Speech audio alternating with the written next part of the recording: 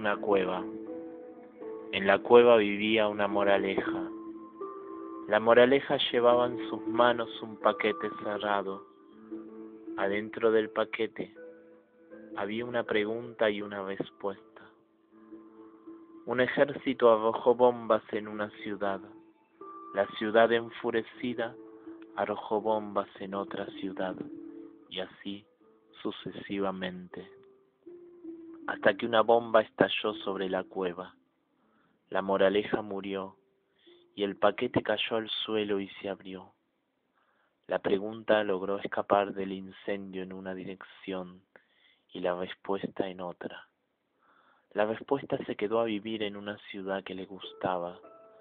Se compró una linda casa y se sentía muy confortada con su nueva vida. Nunca sintió que le faltara algo. La pregunta, por el contrario, se sentía siempre insatisfecha. Buscó por todo el mundo a la respuesta, pero no pudo hallarla. Finalmente la pregunta se suicidó, envuelta en una profunda decepción. A partir de ese día, la respuesta comenzó a extrañar a la moraleja.